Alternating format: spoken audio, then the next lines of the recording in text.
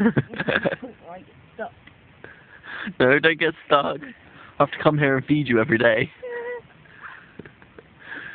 Then I'd be like a freak show.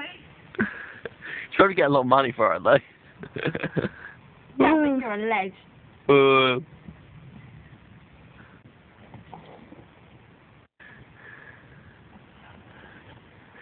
she did it!